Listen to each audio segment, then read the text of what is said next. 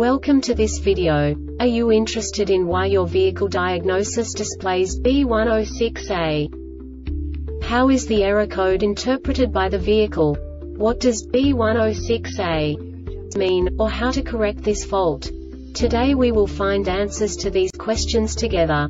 Let's do this. First, let's look at the history of diagnostic fault code composition according to the OBD2 protocol, which is unified for all automakers since 2000. We divide the electric system of automobile into the four basic units.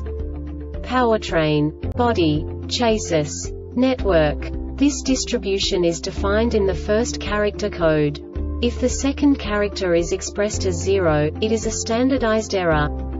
In the case of numbers 1, 2, 3 it is a more prestigious expression of the car-specific error.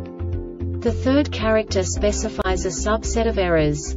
The distribution shown is valid only for the standardized DTC code. Only the last two characters define the specific fault of the group. Let's not forget that such a division is valid only if the other character code is expressed by the number 0. Our website airbagreset.sk produces useful videos for you. You do not have to go through the OBD2 protocol anymore to know how to troubleshoot any car breakdown. You will find all the diagnostic codes that can be diagnosed in a Mercury vehicles. Also many other useful things.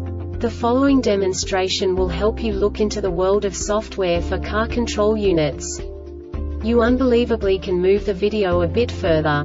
The error code is split into two bytes consisting of 16 bits. One bit is the basic unit that each computer works with. The bit has two logical states. 0, low level, 1, high level. By combining the first two bits, the basic character of the error code is expressed. The next two bits again determine the second character. The last beat styles of the first byte define the third character of the code. The second byte is composed of a combination of 8 bits. The first 4 bits determine the fourth character of the code. And the combination of the last 4 bits defines the fifth character. A single byte conceals 256 possible combinations. We now know in what way the diagnostic tool translates the received information into a more comprehensible format. The number itself does not make sense to us if we cannot assign information about it to what it actually expresses. So, what does the diagnostic trouble code B106A interpret specifically, Mercury, car manufacturers? The basic definition is, Fuel injector group F, supply voltage circuit or open. And now this is a short description of this DTC code.